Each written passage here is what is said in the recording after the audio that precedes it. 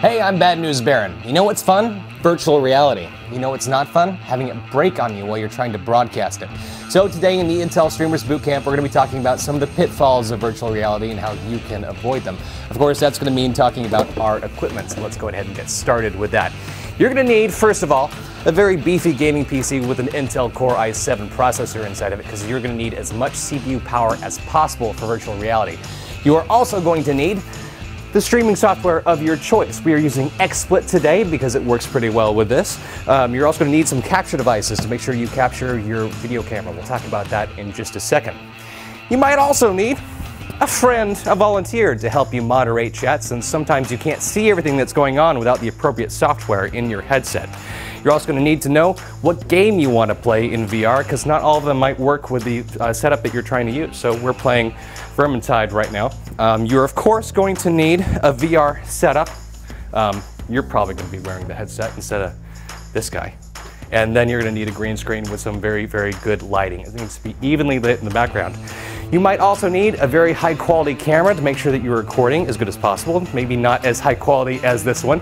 And if you're doing mixed reality, you're going to need a camera crew. All right, so let's talk about how we can set all this stuff up.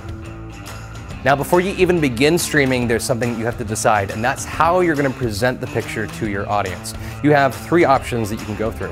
One is picture in picture, in which case you are green screened on top of the footage, or your camera view is in a little box in the corner of your screen like you might normally broadcast.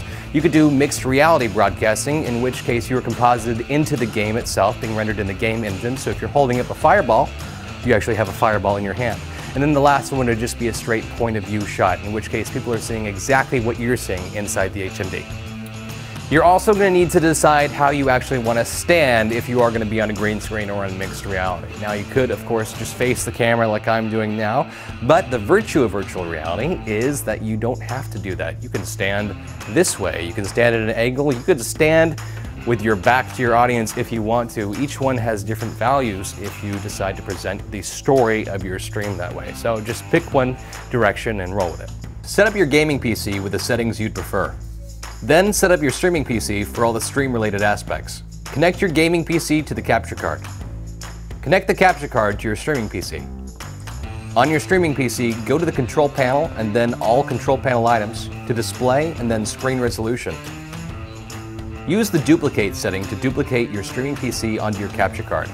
This will make your streaming PC display 1, your capture card display 2, and your gaming PC display 3. Repeat your gaming PC audio to your capture card. Set up your capture card with your streaming software, either XSplit or OBS. Balance your sound levels on your gaming PC. Synchronize your audio with your visuals.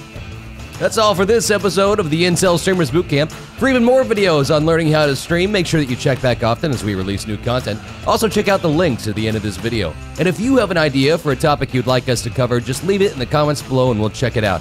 I'm Bad News Baron. See you next time.